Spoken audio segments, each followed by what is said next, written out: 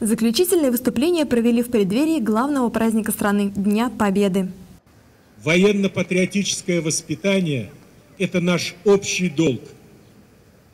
Война и Великая Победа не может быть забыта в нашей стране. Финал патриотического конкурса – самый яркий и зрелищный этап игры. Ребята демонстрировали свою строевую подготовку, знания военных песен. По результатам всех конкурсных заданий первое место забрала команда 17-й школы «Сыны Отечества». Побеждают ребята второй год подряд, но не без сложностей. Самая сложная история в разных страницах. Ну, не знаю, сложно было для нас. В мае ребята отправятся защищать честь города на областном конкурсе. Евгения Креминская, Константин Белов. Новости Димитровграда.